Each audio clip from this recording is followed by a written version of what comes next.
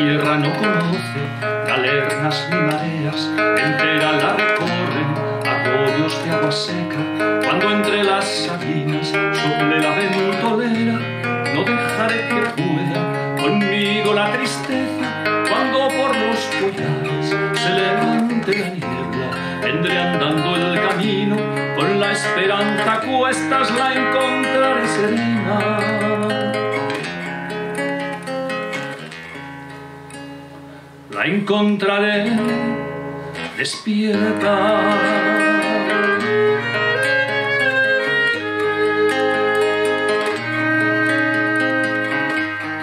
tierra no se ciñe, inútiles fronteras, sierras son ventanas y veredas abiertas, los morrones se asoman al umbral de la muerte, los cabezos dibujan cuerpos adolescentes, las vales nos cobijan, los valles se retuercen. Y en medio de su vientre, a vista de paloma, una fuente que drena.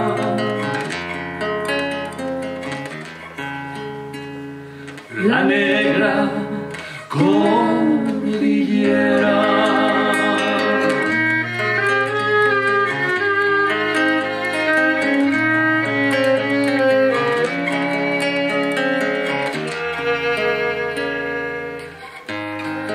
escuchar silencios, mi tierra a veces calla, carlistas y templarios acunan sus fantasmas, pero despierta y calla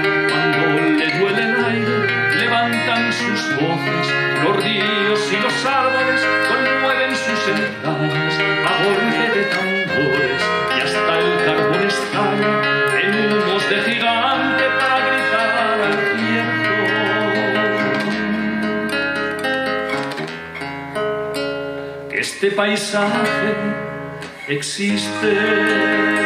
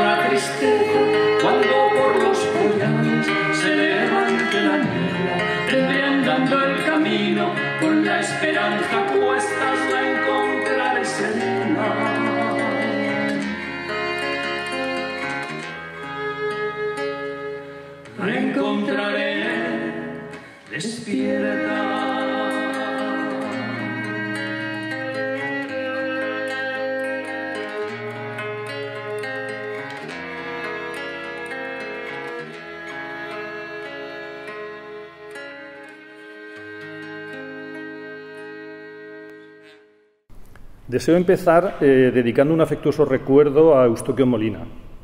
Me cabe el gran honor de recibir hoy la medalla número 12 de la Academia de la que él fue anterior titular. Eustoquio fue un gran compañero en la vida universitaria y su ausencia ha sido muy sentida. Reconocido investigador especialista de prestigio en micropaleontología, fue autor de trabajos de referencia en el campo de las extinciones faunísticas y creó una sólida escuela en el Departamento de Ciencias de la Tierra que continúa dignamente su labor. Fue también un científico crítico y comprometido que trabajó activamente por el reconocimiento social de la ciencia. Desde la Asociación Alternativa Racional a las Pseudociencias, combatió los residuos de creacionismo, las pseudoterapias y otras formas de discurso irracional. Mi disertación, que en lo geológico se detendrá en aspectos bastante alejados de lo que Eustoquio trabajaba, sin embargo, en estos aspectos, en estas preocupaciones, creo que conectaremos perfectamente y quiero creer que le hubiese escuchado, le hubiera gustado, perdón, escuchar este discurso, eh, sobre todo por las múltiples citas que voy a hacer a Mario Bunge, de quien era eh, admirador.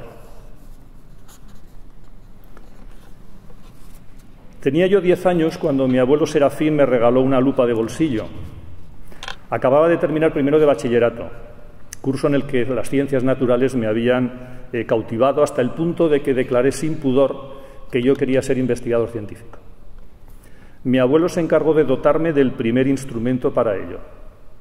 A través de aquella minúscula ventana comencé a percibir el mundo de otra manera.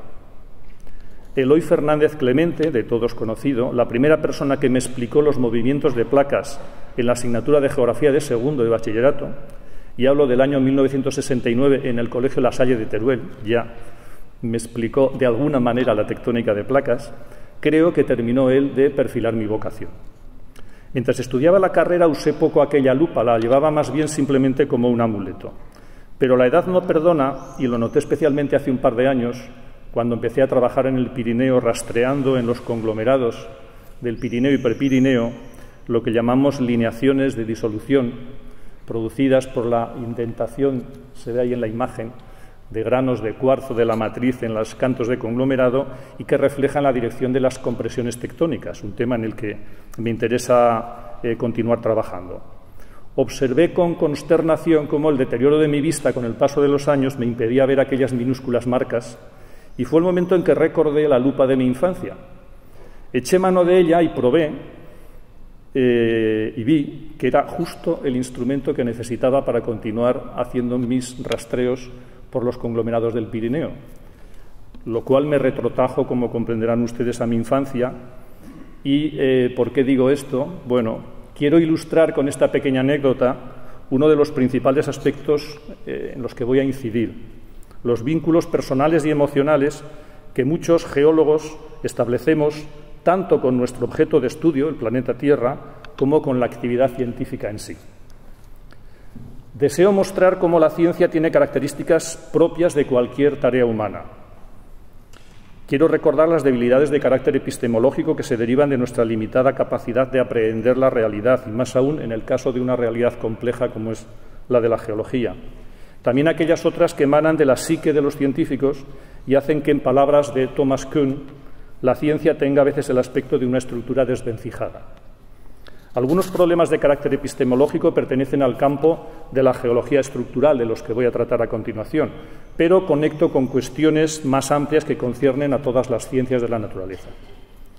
Intento desmitificar la supuesta asepsia y neutralidad de la ciencia y mostrar que, en cuanto a construcción social, está inevitablemente mediatizada por la historia y por el contexto socioeconómico.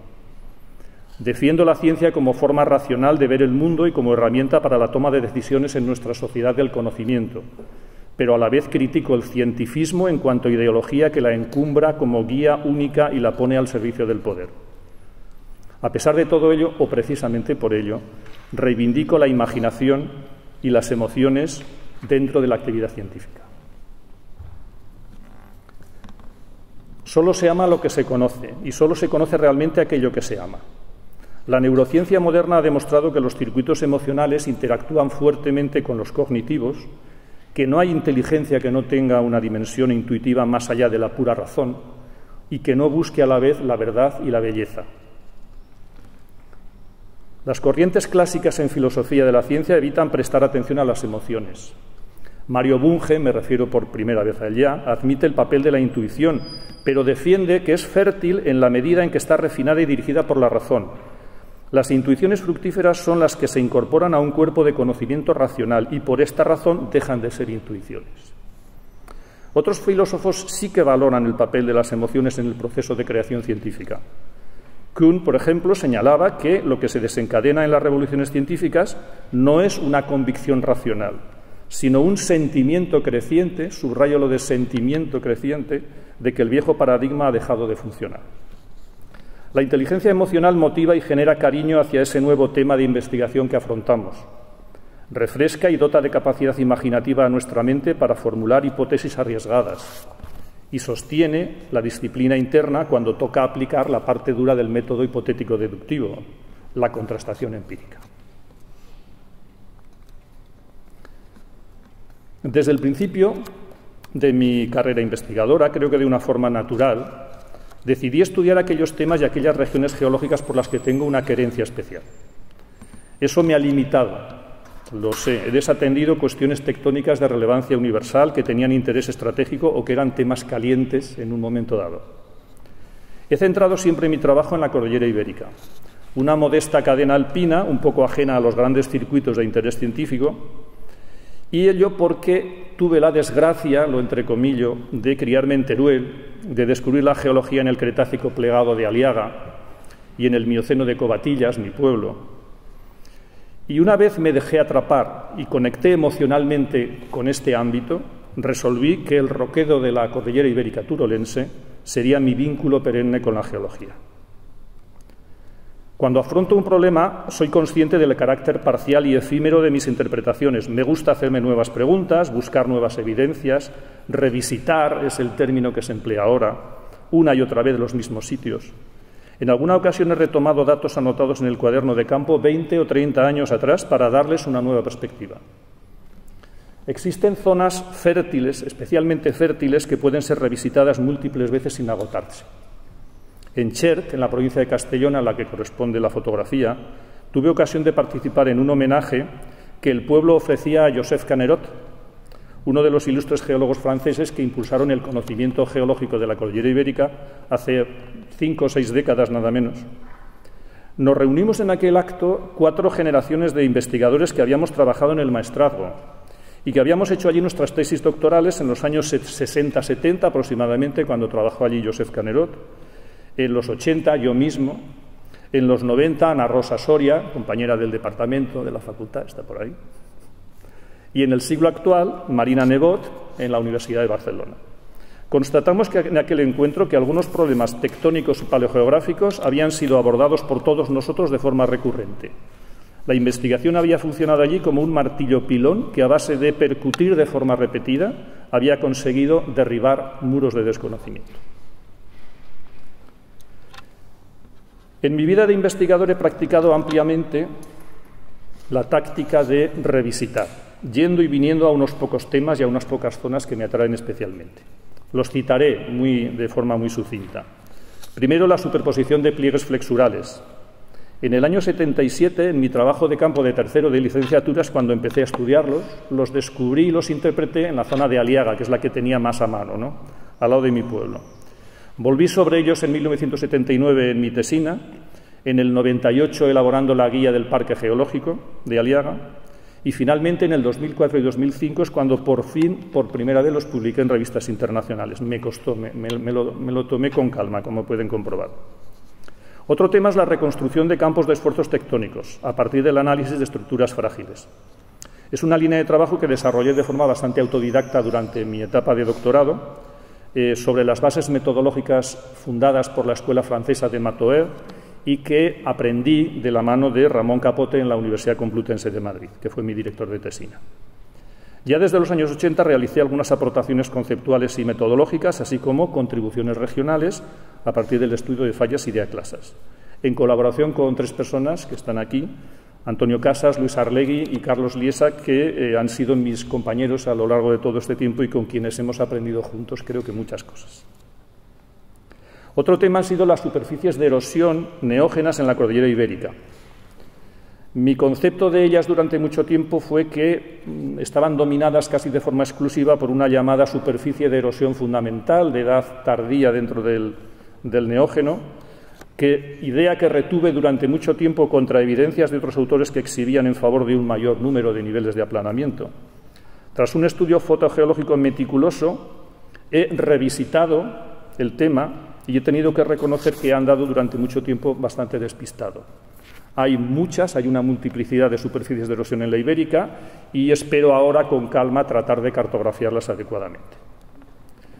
Un cuarto y último tema que quiero reseñar, eh, al que me he dedicado en los últimos años, son las fallas activas de la cordillera ibérica. El caso más singular es sin duda la falla de Concuz, que estudié por vez primera en los 80 en un trabajo extenso y bien documentado que solo alcancé a publicar en una revista local, en la revista Teruel. La redescubrí en el 89, la revisité en 2005 cuando comencé a dirigir la tesis de Paloma La Fuente y dando comienzo así a un fértil periodo de investigaciones paleosismológicas que se han extendido a otras fallas de la región y en las que se han inscrito otras tesis doctorales, eh, una concluida ya, la de López Querro, y una en curso que es la de Alba Peiro. El balance de los logros alcanzados en estas líneas es dispar, como lo son también los enfoques con que han sido abordadas cada una de ellas por la comunidad científica. Me refiero a la comunidad en el ámbito de la geología estructural. Un tanto decepcionante para mí ha sido la experiencia con el análisis de paleoesfuerzos, que voy a describir como ejemplo de praxis científica quizá no del todo eh, adecuada, vamos a llamarle así. El análisis de paleoesfuerzos es una rama que puede considerarse con buena salud a tenor del volumen de publicaciones que genera, pero me disgusta constatar cómo se ha convertido en un campo en el que la innovación metodológica parece un fin en sí mismo. Proliferan multitud de variantes que a veces son simplemente cosméticas, con sofisticados aparatos matemáticos detrás, pero sin ninguna ventaja manifiesta sobre otros métodos bien asentados desde hace décadas, como el método de Checopar, que es el que hemos utilizado en nuestro grupo durante muchísimo tiempo. Peor aún, en algunos casos los procedimientos que se aplican entran en contradicción con las bases conceptuales de la inversión de esfuerzos. Se vulnera, por ejemplo, el principio de Bott, que determina la dirección de movimiento en una falla a partir del estado de esfuerzos y de la orientación del plano. Sería en los esquemas de arriba el tercero. Son los esquemas que, sin entrar en detalles, revelan un poco cuáles son las bases conceptuales, en algunos casos matemáticas, en las que se fundamenta esta línea de trabajo. Un ejemplo de esta, digamos, disfunción es la confusión de lo que se llama el eje P de un mecanismo focal de un terremoto producido por una falla con lo que llamamos en geología la dirección de esfuerzo máximo, sigma 1. Esto lleva a creer erróneamente que puede inferirse un estado tensional a partir de un único mecanismo focal, o lo que es lo mismo, que se puede inferir un eje distinto de compresión para cada una de las fallas. Esta falacia alienta la reconstrucción fácil y rápida de trayectorias regionales de esfuerzos actuales, que son aparentemente muy precisas, pero ficticias. Este frenesí metodológico ha hecho que no se consoliden en la comunidad científica procedimientos consensuados y estandarizados, ni tampoco criterios rigurosos para evaluar la calidad del producto. A estas alturas, cabría esperar que los investigadores utilizasen dos o tres métodos bien asentados, que los requisitos y limitaciones para su aplicación fuesen conocidos y respetados por todos y que cualquier resultado publicado pudiera considerarse fiable por el conjunto de la comunidad científica. Nada de eso se ha alcanzado. De la última media docena de artículos sobre el tema en los que he intervenido como revisor, la mayoría no cumplían los requisitos metodológicos exigibles. Alguno de ellos traslucía una suerte de, le llamaría, adanismo científico, consistente en ignorar los principios teóricos más básicos y las referencias bibliográficas obligadas y planteaban, por tanto, una investigación como si no hubiera pasado. No quisiera caer en el derrotismo porque sostengo que el análisis de paleoesfuerzos al que me sigo dedicando no es una moda pasajera, sino una potente herramienta que ha contribuido a conocer mejor la dinámica de la litosfera pero hay que reconocer que no ha alcanzado aún el deseable, que yo creo que sería deseable grado de madurez.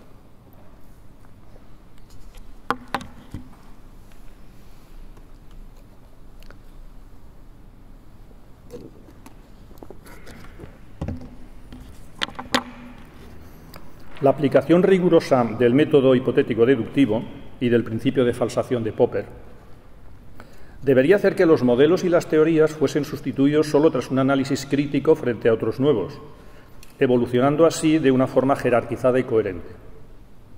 Sin embargo, en geología las hipótesis se sustraen con frecuencia a esa dialéctica de corroboración-refutación.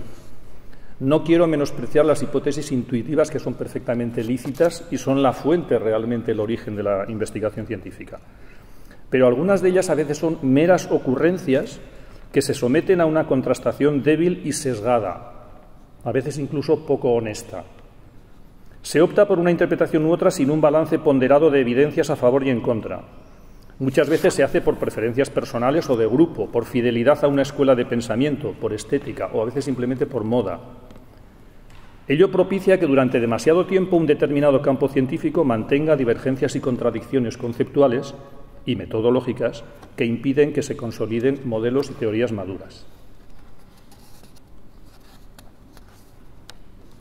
Audacia en el conjeturar, rigurosa prudencia al someter a contrastación las conjeturas.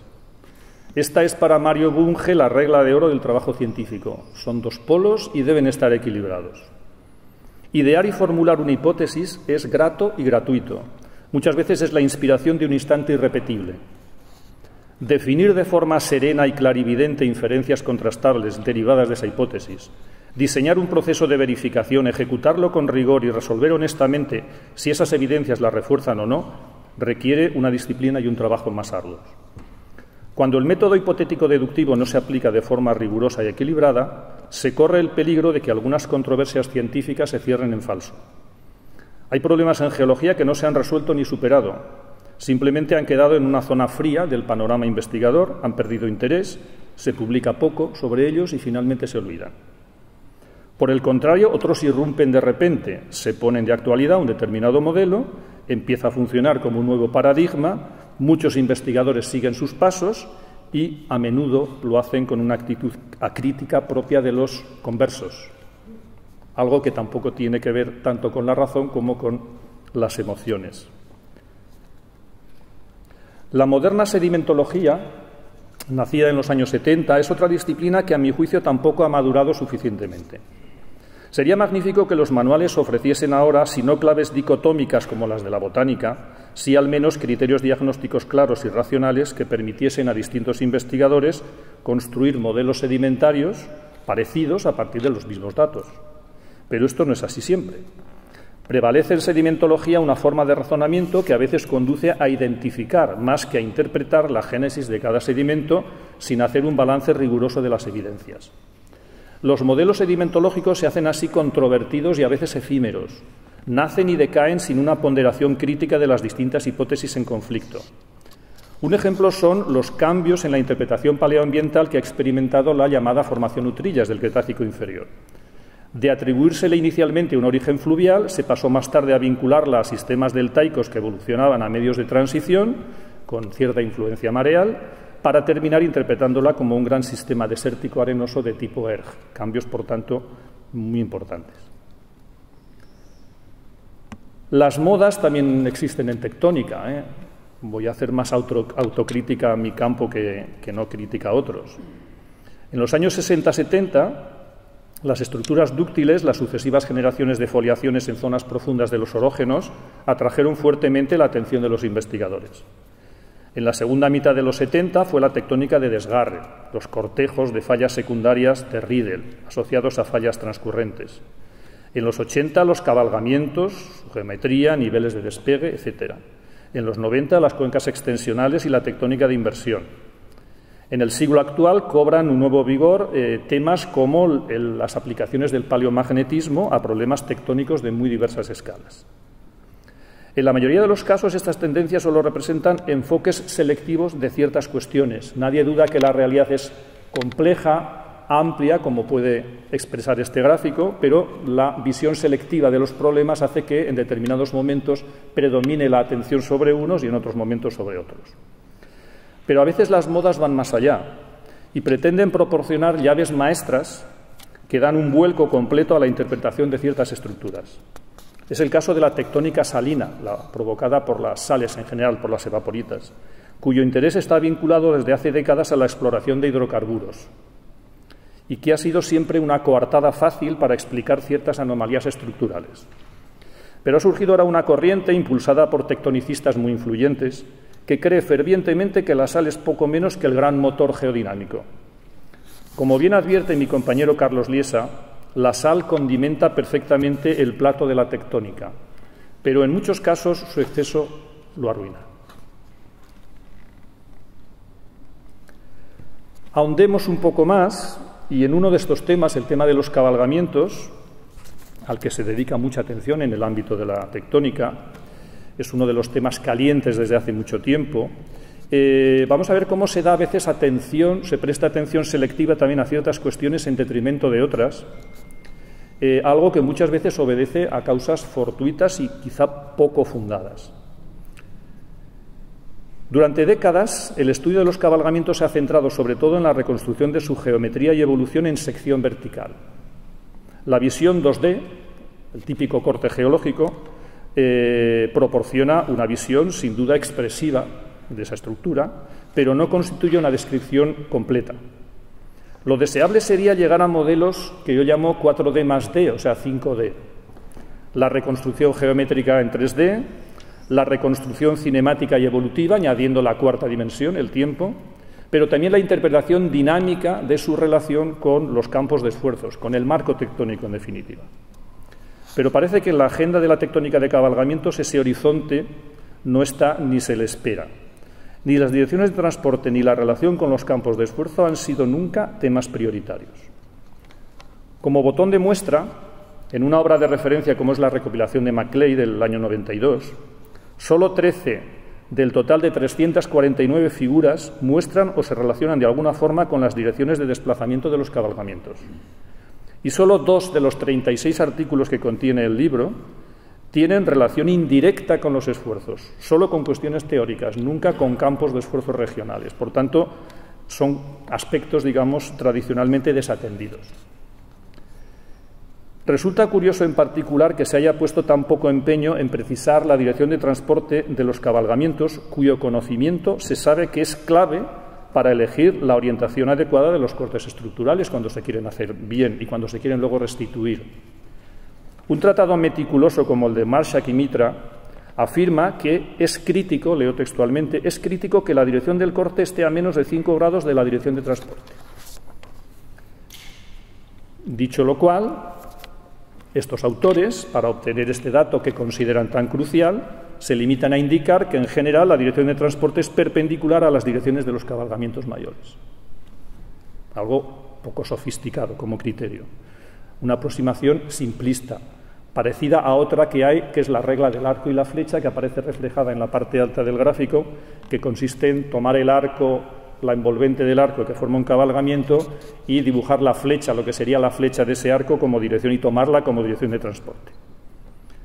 A la vez que adoptan de una manera crítica estos procedimientos, los indicadores directos de movimiento que han quedado registrados en el propio plano de falla, es decir, aquello que es observable con nuestros ojos, eh, pues han quedado un poco eh, relegados, son minusvalorados como datos por algunos de estos autores. Marshak y Mitra en concreto dicen que a menudo tales direcciones están dispersas y pueden ser engañosas.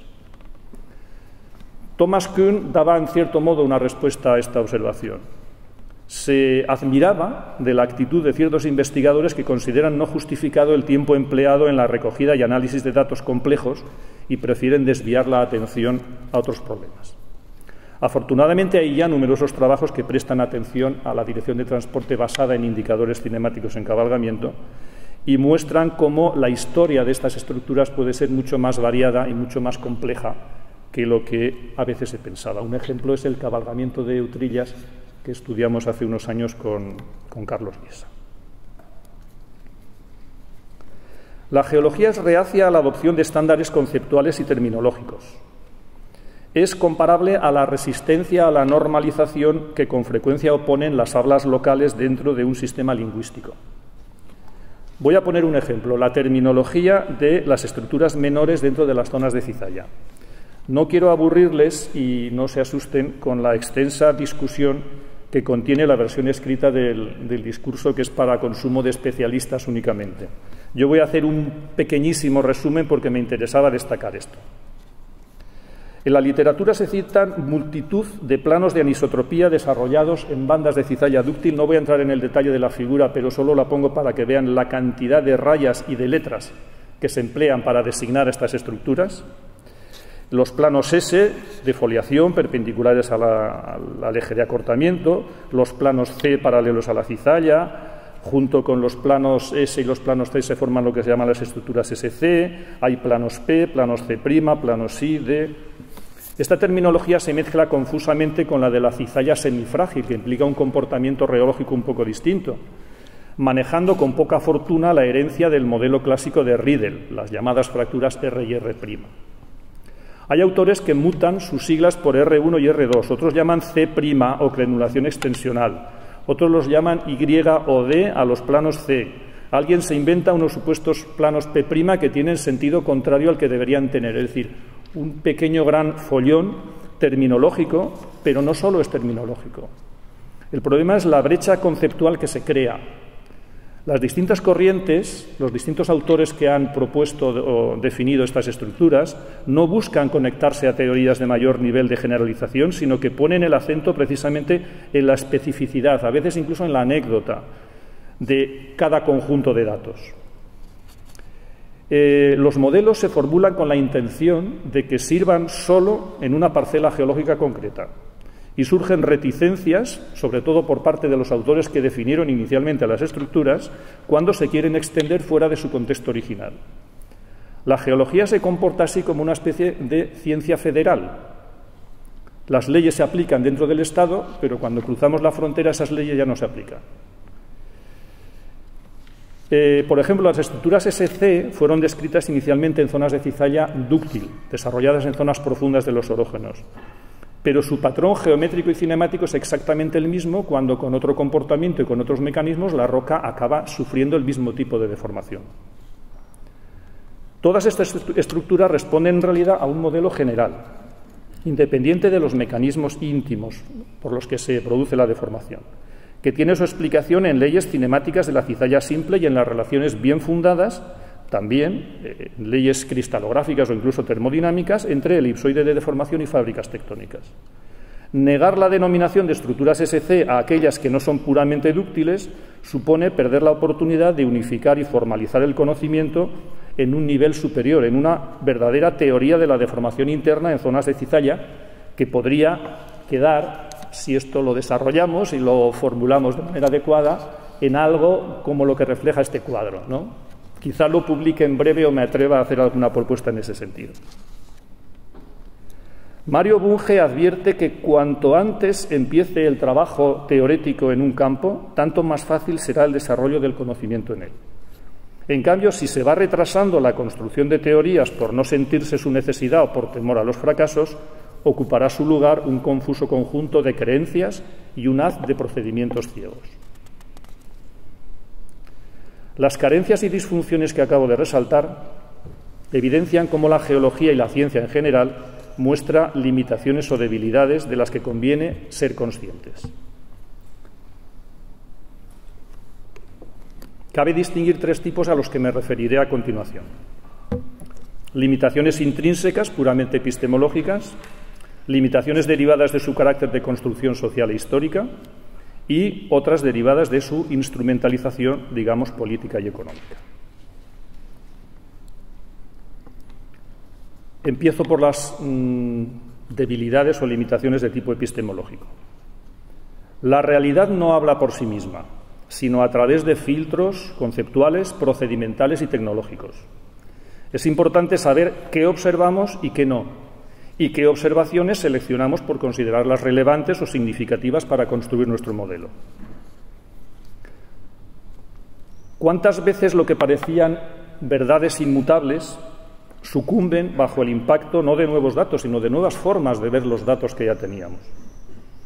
Cito de nuevo a Mario Bunge en la, cita que tienen en pantalla. Las evidencias no nacen, se hacen. Solo una teoría puede transformar un dato en una evidencia. Los hechos que se registran y describen normalmente en ciencia se seleccionan de entre una montaña de hechos, y esta selección, no menos que la descripción misma, se realiza con la ayuda de hipótesis y teorías. Voy a narrar un caso que ejemplifica esto a la perfección. Desde el año 2005 nuestro equipo estudia las fallas extensionales activas de la cordillera ibérica, fundamentalmente del sector turolense, ya lo he comentado. Mediante técnicas paleosismológicas hemos llegado a reconstruir con cierto detalle la historia de movimientos de la falla de Concud en los últimos 75.000 años, algo de lo que nos sentimos muy orgullosos. La evaluación del potencial sismogénico de esta falla llevó incluso a modificar el proyecto de construcción del nuevo hospital de Teruel, para el que se había elegido en su momento una curiosa ubicación, justo en la zona de relevo entre dos fallas, la falla de Concuz y la vecina falla de Teruel. Aunque la norma de construcción sismoresistente no obligaba, las autoridades tomaron conciencia en 2015 de que debía aplicarse el principio de precaución y consideraron que era oportuno introducir en el proyecto medidas antisísmicas. En 1974, y ahora rebobino para contar la pequeña historia, cuando comencé yo la carrera de geología precisamente en el Colegio Universitario de Teruel, esta situación, esta toma en consideración por parte de las autoridades de este hecho geológico, hubiera parecido mm, simplemente ciencia ficción. Hablar de fallas cuaternarias o de fallas activas en aquel momento era anatema, en los años 70, para explicar las deformaciones recientes, se buscaba todo tipo de hipótesis alternativas. Deslizamiento, subsidencia kárstica, la sal, ¿eh? tectónica salina, por supuesto, todo menos afrontar la evidencia de la tectónica extensional en sentido estricto. No fue hasta el año 1983 cuando un investigador francés, Etienne Moissenet, y yo mismo, en sendas publicaciones de poca difusión, apuntamos que la falla de Concuz había tenido actividad cuaternaria. Y fue Moissenet quien interpretó entonces, por primera vez, el afloramiento que proporciona la evidencia más clara, con unas condiciones de observación inmejorables. Es este es una trinchera del antiguo ferrocarril minero Ojos Negros Sagunto, situada cerca de Teruel, tres kilómetros al norte. Y lo curioso de este afloramiento es que existe desde el año 1907 que se construyó el ferrocarril.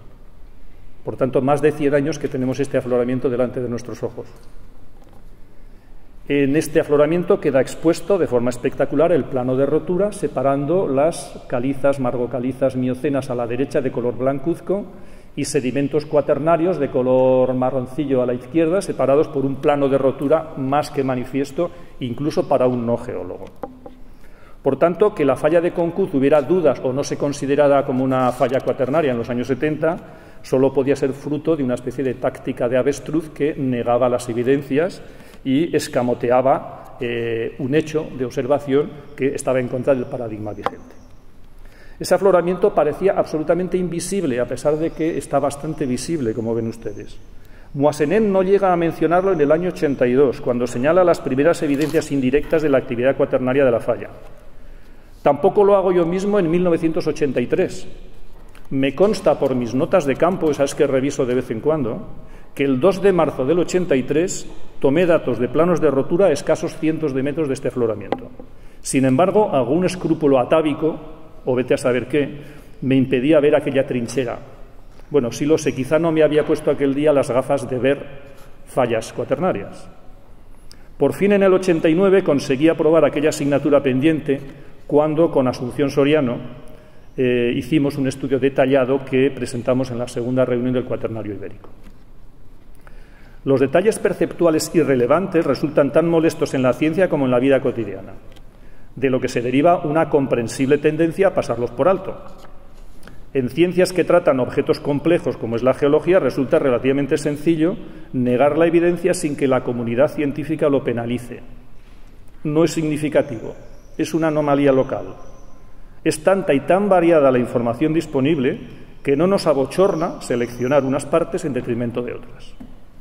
Una escuela científica puede seguir defendiendo durante décadas un determinado modelo basado en los hechos A más B, mientras otra lo considera obsoleto y defiende un modelo alternativo basado en C más D. Nunca se entenderán. Ninguna consigue ni persigue muchas veces falsar el modelo de la otra escuela, y la pugna entre ambas se puede prolongar sin edie.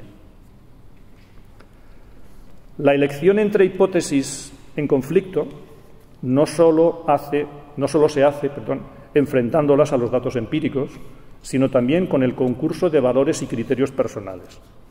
En el momento de comparar teorías, lo que queda son solo juicios estéticos, juicios de gusto y nuestros propios deseos subjetivos. Es la apreciación que hace Feyerabend, conocido por su anarquismo epistemológico y al quien a lo mejor muchas personas prefieren no hacer caso.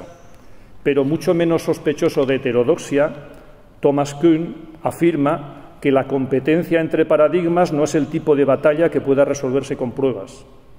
La transferencia de la aceptación de un paradigma a otro es una experiencia de conversión.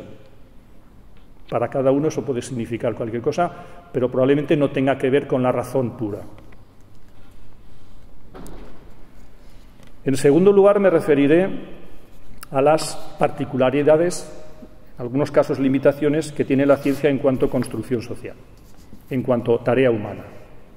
Como construcción colectiva tiene todas las limitaciones propias de la dinámica social, del juego de intereses y fuerzas que pugnan en torno a ella. El funcionamiento del método hipotético deductivo puede parecer que garantiza plenamente la adquisición del mejor conocimiento posible en cada momento. Un conocimiento, si no objetivo, esto es una quimera, sí intersubjetivo. Ese panorama tan tranquilizador se sustenta en el modelo social de ciencia acuñado por Robert Merton, que no es sino el retrato de cómo la comunidad científica, en su conjunto, va construyendo los saberes de forma amigable y fecunda. Cuenta para ello con unos principios básicos que todos mm, cultivamos y defendemos, universalidad, transparencia, honestidad, y unos instrumentos, unas reglas de juego, unos mecanismos de control internos, las publicaciones, la revisión por pares, los congresos abiertos, que hacen que toda la colectividad funcione como una maquinaria eficaz de generar conocimiento. Pero si todo operase así de idílicamente, no habría revoluciones científicas. ¿Por qué un paradigma se resiste tanto a ser demolido?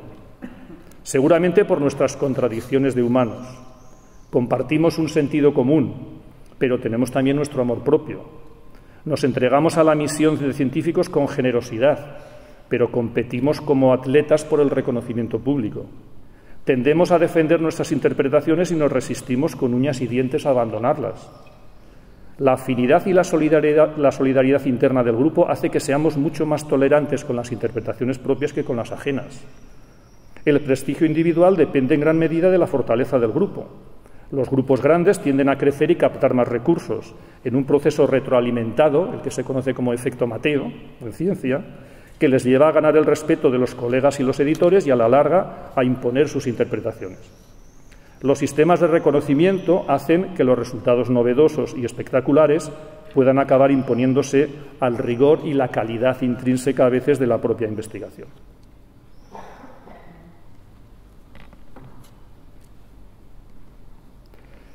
La eclosión del saber científico en la Edad Moderna llegó asociada a un concepto antropocéntrico del mundo que legitimaba nuestro dominio de la naturaleza.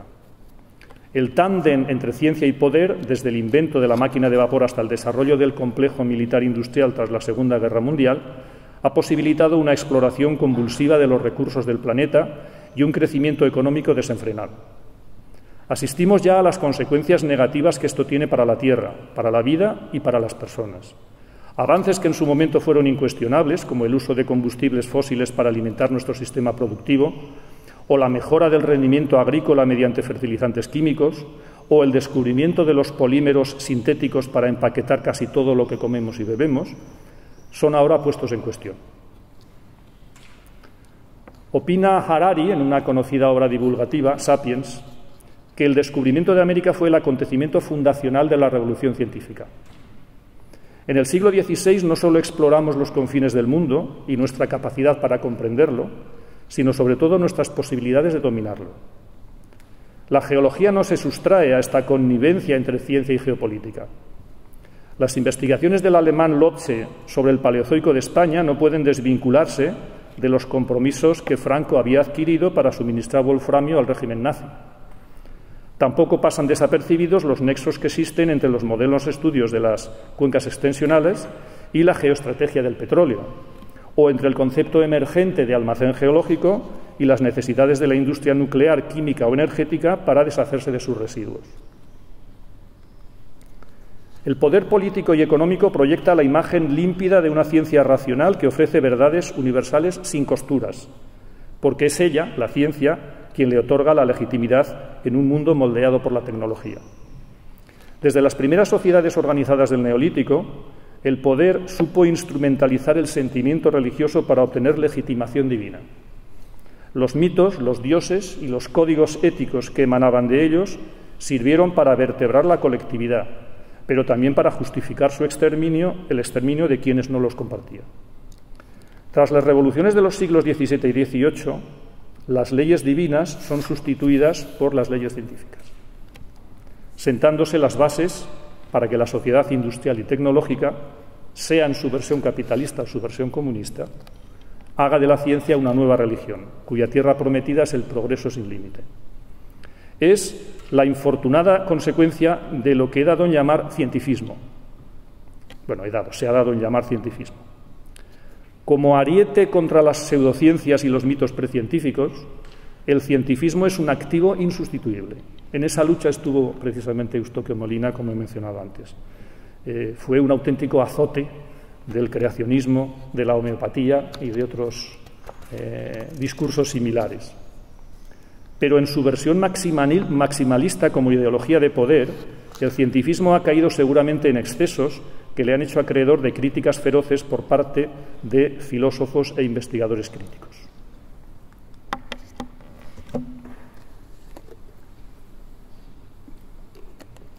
Esta paradoja refleja la contradicción en la que incurre el poder cuando con una mano exhibe la ciencia como coartada y con otra la ningunea. En nuestra sociedad del conocimiento la ciencia es nominalmente venerada, mientras en la práctica es manipulada y relegada según interese en cada momento. Con respecto a las catástrofes naturales y el papel de la geología en su prevención y mitigación, pervive una preocupante ignorancia. Se menosprecia el peligro, se arremete contra la Tierra con obras innecesarias que interfieren en su dinámica. Se muestra escasa capacidad para abordar la gestión preventiva y finalmente, cuando ocurre lo peor, se lamentan las consecuencias de lo que se llama las fuerzas de la naturaleza, el destino. Casos como la sismicidad inducida por la inyección de gas en el almacén Castor, antiguo yacimiento petrolífero eh, submarino frente a las costas de Vinaroz, en Castellón, o el obstinado y ruinoso proyecto de recrecimiento del embalse de Yesa, o las dolinas ignoradas durante la expansión urbanística de Zaragoza, evidencian, son estos casos y otros muchos que podríamos nombrar, una lastimosa imprevisión y una instrumentalización de la geología propiciada por controles administrativos ineficientes y por una escasa cultura científica de quienes toman las decisiones. Uno se pregunta si la geología no juega el rol de tonta útil en lo que en realidad es más una sociedad del desconocimiento o del analfabetismo ilustrado.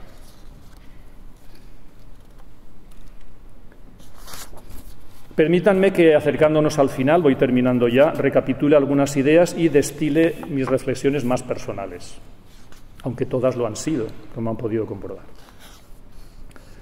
La construcción de la ciencia necesita de la parte emocional de nuestra mente. Es una tarea plenamente humana y social, sujeta a las contingencias del devenir histórico y en peligro permanente de ser mediatizada. La geología, como ciencia que estudia hechos complejos y difíciles de sistematizar, está sujeta aún a mayores dificultades epistemológicas en su camino hacia la madurez. Por su relevancia como ciencia aplicada a la obtención y gestión de recursos del planeta, es también una ciencia especialmente vulnerable a la instrumentalización en el marco de estrategias económicas o geopolíticas. A pesar de todo ello, yo particularmente no me arrepiento de haber elegido este campo para desarrollar mis investigaciones, para ejercer esa vocación que a los diez años inicié con una lupa en la mano. La exploración de los secretos que guarda nuestro planeta es un reto fascinante, capaz de activar todo el potencial de la mente. Confieso que a mí me apasiona y no me ruboriza incorporarlo a mi universo emocional, o atreverme a fusionar incluso esa visión científica con aproximaciones de carácter artístico, poético, musical, etcétera, eh, por poner un ejemplo.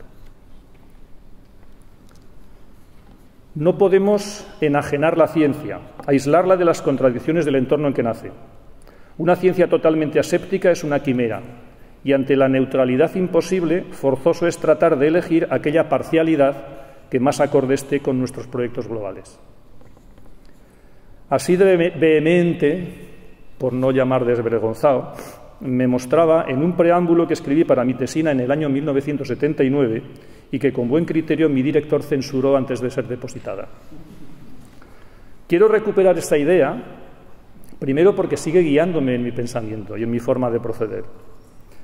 Y segundo, porque una curiosa corriente de pensamiento que he descubierto mm, preparando el discurso, entre otras muchas cosas que he aprendido, esa corriente ha venido en mi auxilio intelectual refrendando el sentido de esa frase.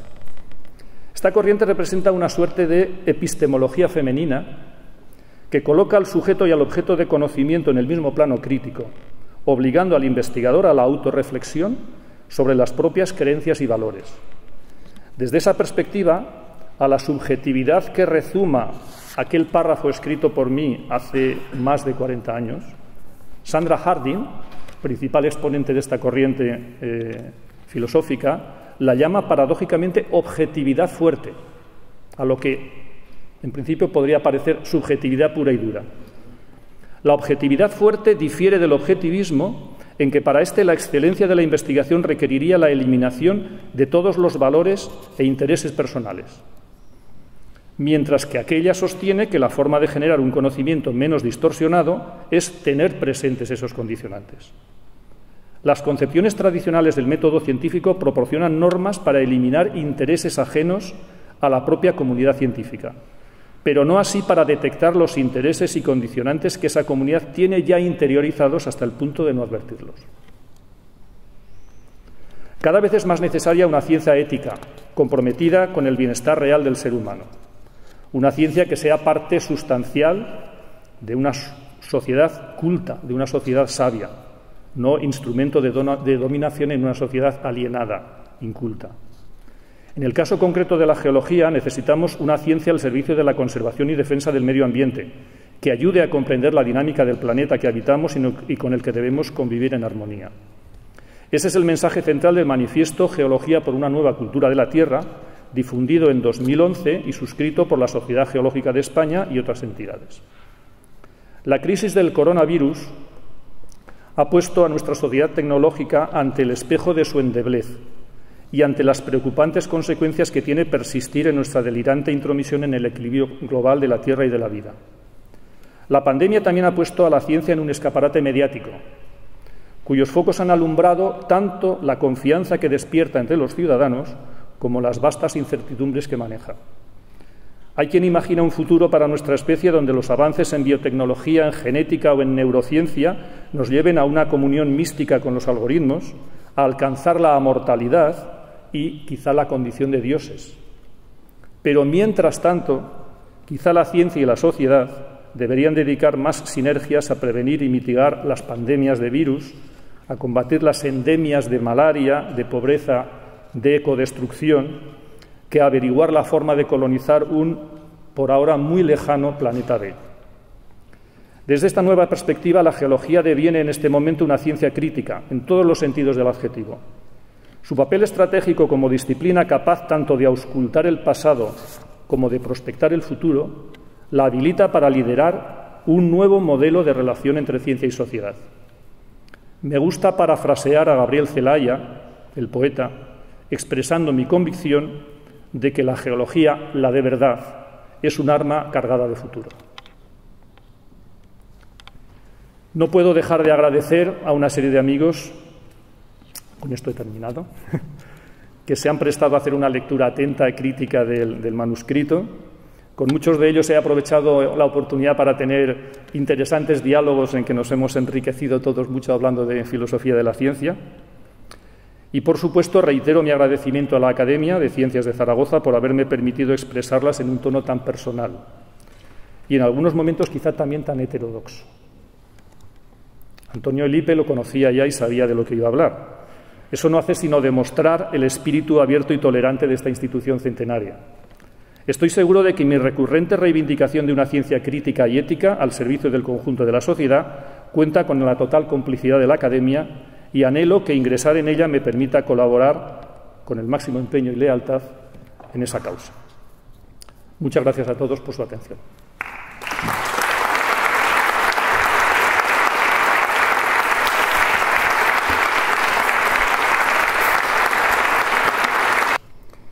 Quiero empezar diciendo, sin ningún pudor, que considero que la Academia ha tenido el acierto de confiarme el discurso de contestación de este acto de recepción solemne del académico electo, ilustrísimo señor don José Luis Simón Gómez.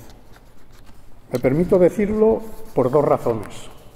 La primera es que mis torpes palabras y elucubraciones no quitarán un ápice de protagonismo al nuevo académico. Y la segunda es que por decidir que sea esta sesión tan destacada la de mi primer papel de este oficio. Quiero decir con jactancia que la casi totalidad de los actuales profesores de geología de Zaragoza han pasado por mis clases. Es cosa de la edad. Pero hay casos excepcionales, como el de José Luis Simón, que del Colegio Universitario de Teruel pasó a la Complutense. No obstante, conocía algunos datos de su ficha, quiero decir, de su incomparable expediente académico, vía profesor Gutiérrez de Lorza y otros colegas. Sin duda, conducir el tema de su beca FPU hacia Teruel, llevado por la inteligencia emocional, como antes ya había hecho con la tesis de licenciatura, fue un acierto indiscutible. Como antes, eh, perdón, la ejecución de la tesis fue a un ritmo frenético, intercalando, entre otras actividades, algunas sesiones de seminario departamental. En estas sesiones ya se destapó como comunicador que a la vez que domina sus temas, sabe ponerse en la piel del oyente y conducirle sobre las bases de lo conocido hacia las ventajas de la innovación y la valoración de los nuevos hallazgos. Después de la tesis, 1982, vino la beca postdoctoral en la Meca de la Geología Estructural de Occidente, Universidad de Montpellier, el establecimiento de lazos internacionales, Cardiff, Swansea, Bristol, Toulouse, Bogotá, etc. La incorporación a la vida docente e investigadora en el Departamento de Geomorfología y Geotectónica, pasando por, las momentáneas incertidumbres de los interinos en la ordenación académica y luego las consabidas oposiciones. Todas estas actividades propiamente curriculares se desarrollaron envueltas en un aura de las más diversas actividades culturales, como diseño y elaboración de material didáctico de distintos niveles, literatura, formación y creatividad musical, organización y promoción de centros y eventos dedicados a la puesta en valor de elementos del patrimonio geológico. Objetivamente hablando, y dentro de la parcela geológica de la comunidad científica, el historiador el historial del académico electo es envidiable y va mucho más allá de lo que es corriente dentro de la sensatez de una época de ciencia normal. Hemos escuchado un, discurso en el que ha hecho alusión a algunas de sus aportaciones a la ciencia y a la actividad universitaria pero evidentemente su presentación no ha tenido que ver, nada que ver con una exposición de méritos de currículum vitae convencional. Más bien se me antoja por momentos que tenía un tono de autoconfesión, a veces casi aireando culpas y aceptando penitencias. Digamos que se trata de una autobiografía emocional que ha hecho más hincapié en sus inquietudes que en sus resultados que la ha expresado con la seriedad que requiere este acto, pero también con la misma llaneza con que podría sacar cualquiera de los aspectos aludidos, rodeado de contertulios frente a la barra de la cafetería, ante una taza de té verde o de poleo menta moderadamente azucarada. Es la misma llaneza que le acompaña en las relaciones con los estudiantes, en las reuniones de trabajo de intereses contrapuestos, intervenciones en mesas redondas, moderación de actos con participación de público, etc. Pero tal vez en el grado más superlativo, dicha llaneza se manifiesta en el ambiente del área y del grupo de investigación. Consecuencia e ilustración de lo que comento es que cuando los miembros del área hemos tenido que dedicar unas palabras de introducción, presentación en un acto público en el que fuera a intervenir, sistemáticamente hemos olvidado mencionar el detalle de que es el catedrático de Geodinámica Interna de la Universidad de Zaragoza. En mi descargo y en el de mis colegas hemos, que hemos cometido esta desconsideración, debo decir que nunca han faltado méritos recientes afines al tema del evento al que se iba a hacer alusión. Indudablemente este mismo tono de llaneza hace que no se citen en el discurso o solo se mencionen casi veladamente algunas de sus aportaciones de gran relevancia, como por ejemplo los trabajos sobre las dolinas del entorno de Zaragoza, que dieron lugar a numerosas publicaciones. Por ejemplo, Simón 2009, Soriano y Simón 2002, y una extensa memoria del ayuntamiento de la ciudad, Simón et al. 1998, que desde su publicación es referente absolutamente obligado en todos los estudios geotécnicos concernientes a, los problemas que causa este, este fenómeno tan cotidiano. Otra aportación, la creación del Parque Geológico de Aliaga, en un momento en que no había ningún precedente y su destacado papel, y tuvo un destacado papel de germen del desarrollo de otras iniciativas que ahora se integran en la propia red internacional de, geoparques. La intervención en los prestigiosos cursos de verano de Teruel, como colaborador, organizador y director. La creación en 2005 del germen de geología en el mismo Parque Geológico de Aliaga la elaboración de modelos de tectónica experimental, la creación de material didáctico para el aula y para el campo, los premios relacionados con su excepcional expediente académico, el premio José María Sabirón de Divulgación Científica, concedido por este mismo centro que ahora nos acoge, la organización de un foro de información y debate de temas geoambientales, el Geoforo para una nueva cultura de la Tierra. Ya ha quedado bastante bien expuesto en su intervención, no obstante quiero poner un subrayado. El Geoforo, en torno a su liderazgo, indiscutible y a la vez casi imperceptible en términos de imposiciones autoritarias, se constituye en observatorio permanente de la incidencia de la actividad humana en el deterioro del medio natural, con especial sensibilidad por lo que ocurre en nuestro entorno próximo, apoyado sobre las nuevas tecnologías de la información y comunicación. Sobre los temas más inquietantes se organizan periódicamente actividades abiertas, especialmente los ciclos anuales de conferencias y mesas redondas, que cuenta con gran afluencia de público sensible a los temas de la convocatoria y con notable eco en los medios. Los resultados de los debates debidamente consensuados suelen dar lugar a comunicados en los que se pone clara, cuidadosa, razonada y sensatamente la notificación y la postura del la motivación y la postura del geoforo y se dirigen abiertamente a las autoridades, a los medios y a las partes implicadas. Es, ante todo, una labor social de sensibilización sobre nuestra relación con el ambiente, los recursos, los riesgos, el patrimonio, etc.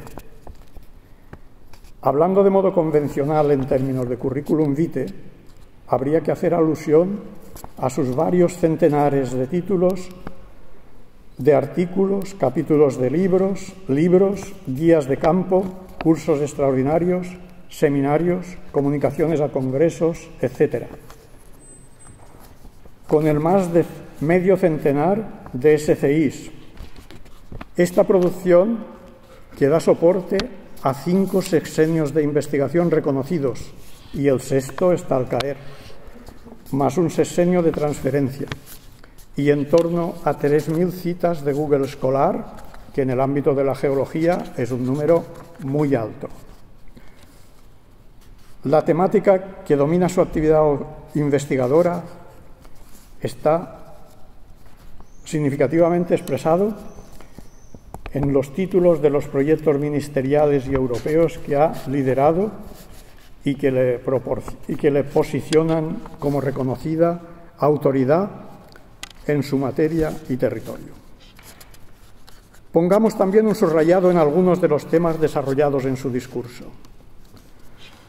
Eso que titula como una decepcionante experiencia del análisis de paleoesfuerzos, que así figura en el texto escrito, es una de sus aportaciones más importantes y es una expresión que sacada del contexto parecería el reconocimiento de un fracaso cuando no es para nada la realidad. Se trata de una aportación admirable en términos conceptuales y metodológicos, que permite determinar distintos tensores de esfuerzos, discriminarlos por su cronología relativa, explicar el contexto tensional en que se forman las estructuras y correlacionarlas con la sismicidad. Su modelo ha dado soporte a distintas tesis doctorales, memorias y artículos. Por ejemplo, Liesa 2000, Arlegui 1996, Casas 1990, Navarro 1987, Martínez Peña 1991, Liesa y Simón 2009, Arlegui 2005, Casas y Simón 1992, Martínez Peña et al. 1995, Casas et al. 1992, por citar solo las más próximas de un largo etcétera, y a numerosas citas internacionales. En todo caso, salta a la vista que el, que el método de análisis de paleoesfuerzos no es una doctrina que invite por sí misma a ganar seguidores o adeptos. Se trata de una poderosa herramienta para determinar el significado de las estructuras que implican deformación frágil de macizos rocosos. Es una necesidad que se plantea en buen número de trabajos basados en el conocimiento del terreno, que implica indeterminadas horas de búsqueda e identificación de estructuras adecuadas y recopilación de listas de datos en numerosos puntos adecuadamente dispersos, etc.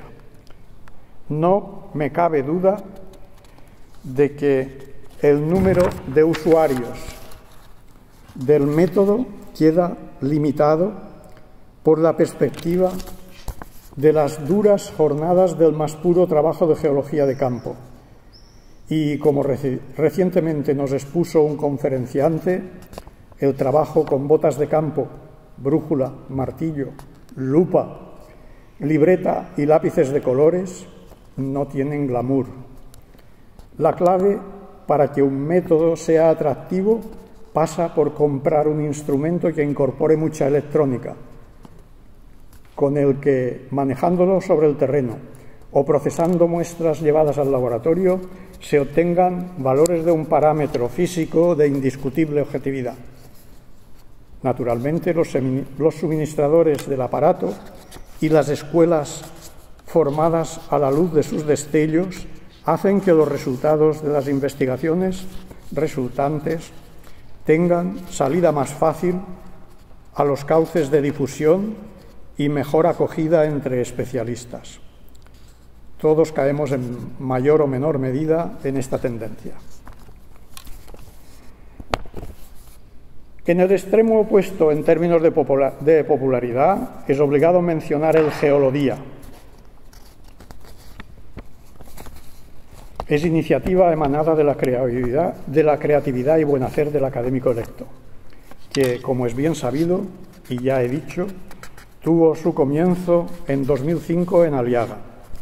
Desde allí y a partir de entonces ha tenido continuidad hasta la fecha al menos en las doce últimas ediciones, y al menos en las doce últimas ediciones se ha celebrado en todas las provincias del país. Precisamente este año 2020, bajo los efectos de confinamiento por COVID-19, se ha mantenido esa continuidad, pero con la novedad de la visita virtual y con la ventaja de poder visitar varias citas a la vez. Geología se ha convertido en la actividad geológica que tiene mucho mayor número de participantes y seguidores. Y los equipos de voluntarios que pretenden organizar las sesiones provinciales, en muchos casos, tienen que aguardar algunos años el turno que reserva la Sociedad Geológica de España, actual coordinadora del evento. Además de la Sociedad Geológica de España, Concurren en la organización del Geología el IGME, la FECID, la EPEC, las universidades, el Colegio de Geólogos y diversas instituciones autonómicas, provinciales y locales. En el caso de la falla de Concord, tan íntimamente apegada a las buenas artes del académico electo, realmente da una lección epistemológica muy interesante. No cabe duda que ha llevado a un cambio de actitud en la comunidad científica. Pero este cambio no se debe solo a la reinterpretación de los datos del siglo XX. Bien sabe el autor las energías que ha invertido en aportar nuevas observaciones. Tampoco ha hecho falta acabar con la generación que poseía la base teórica anterior, en alusión a esa frase de cariz darwinista atribuida a Max Planck.